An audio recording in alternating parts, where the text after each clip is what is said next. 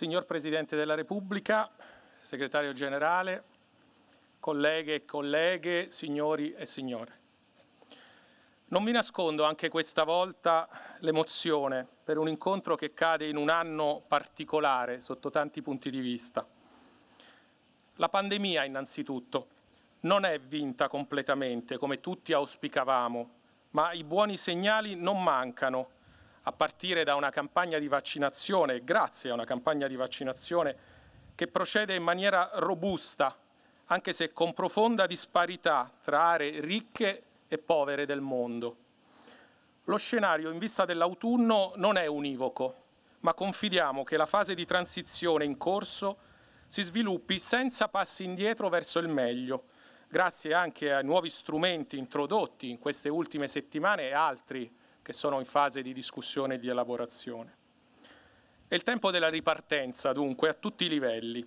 Aspiriamo a riappropriarci della nostra vita, come ha detto Presidente già nell'ultimo discorso di fine anno, quando descriveva un'Italia in cui convivevano angoscia e speranza.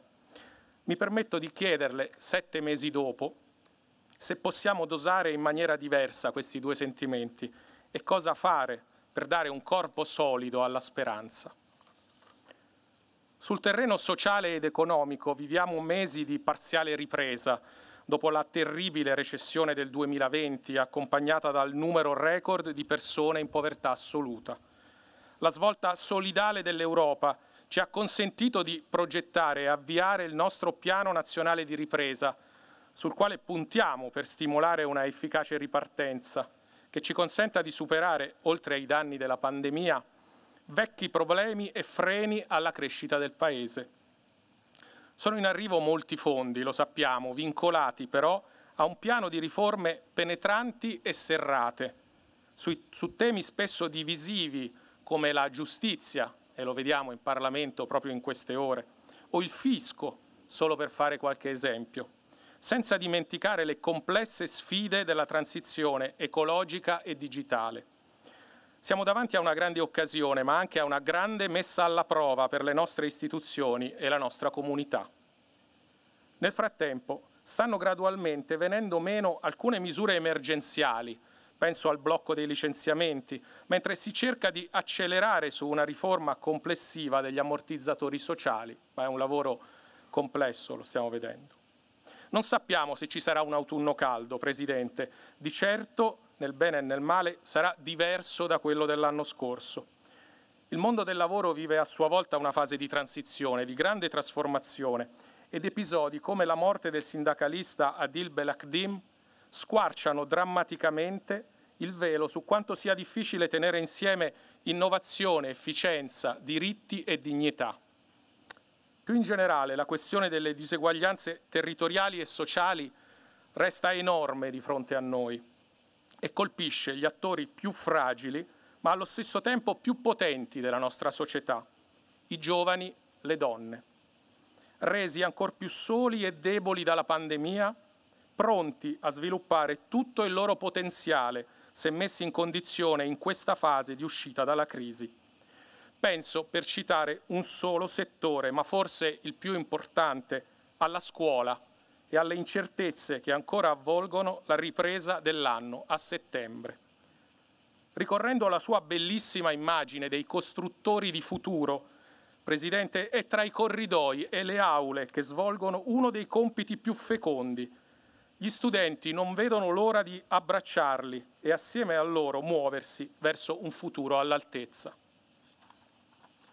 Anche alla scuola arriverà un corposo sostegno dal PNRR, che, lo abbiamo detto, è la grande occasione di questo tempo.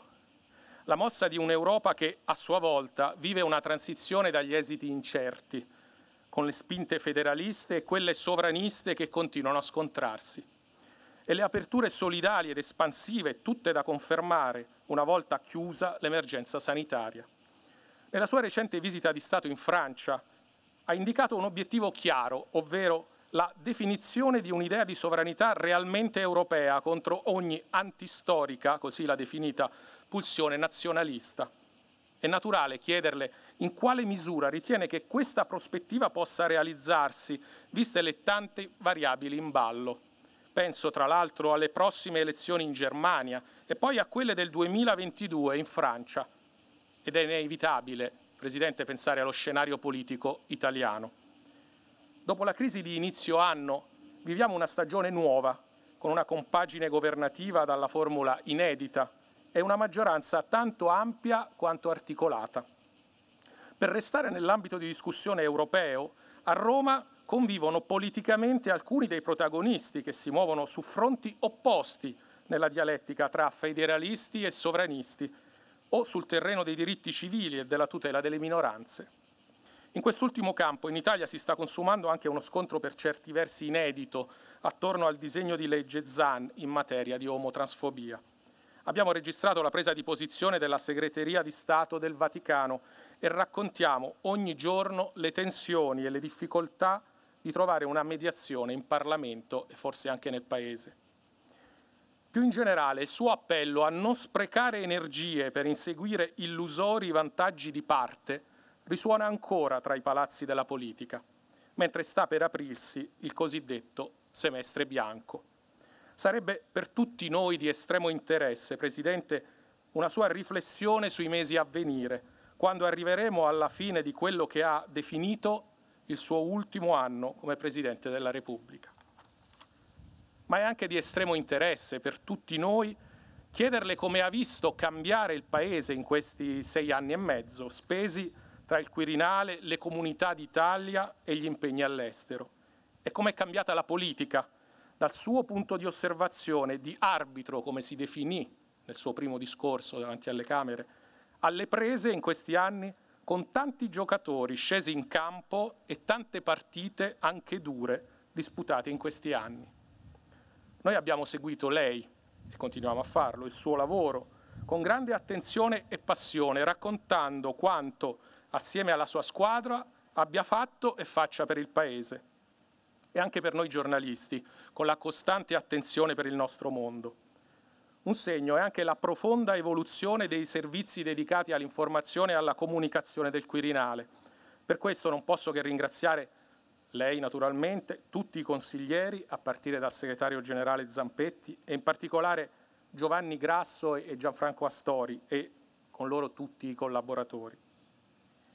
I media sono uno strumento prezioso e irrinunciabile nella costruzione e nel consolidamento della democrazia ha scritto Presidente poche settimane fa. Parole che condividiamo e rilanciamo con forza. Purtroppo la pandemia ha colpito duramente anche il nostro settore, già segnato da problemi più risalenti. Non è mancato e non manca l'orgoglio per quanto abbiamo fatto e continuiamo a fare, in particolare in quest'ultimo anno e mezzo, in cui avere informazioni affidabili e complete è stato ancora più importante in un mondo spaventato, a tratti smarrito. Ciascuno di noi cerca di dar seguito al meglio al desiderio, al progetto di comprendere e di far comprendere agli altri, come ha detto di recente a Trento, ricordando il tratto di Antonio Megalizzi, giovane collega per sempre nei nostri cuori. Confidiamo nei prossimi mesi di recuperare completamente i nostri spazi di agibilità con il progressivo allentamento delle misure anti-Covid ma per poter lavorare al meglio servono prospettive robuste anche sul piano economico e normativo.